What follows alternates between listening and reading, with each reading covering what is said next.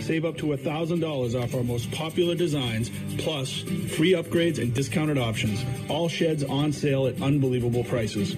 And there is still plenty of time to enjoy the outdoors. Our inventory is bursting with a great selection of low maintenance furniture that's built to last.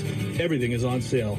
$50 off the most comfortable Adirondack chairs and 20 to 40% off table sets, arbors, gliders, benches, picnic tables, and more. So shop early and take advantage of our summer clearance sale. Pine Harbor Wood Products, Harwich and Hyannis, 1-800-368-SHED or pineharbor.com. The Cape and Islands forecast calls for mostly sunny skies throughout the day. We'll see high temperatures in the upper 70s. For mariners, southeast winds 5 to 15 knots today, seas 2 to 3 feet.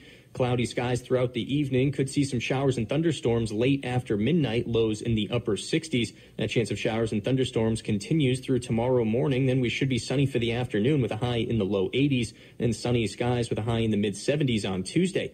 In Hyannis, it's 70. I'm Brian Merchant in the CapeCod.com News Center. Cape Cod's trusted source for local news and information. Ocean 104.7.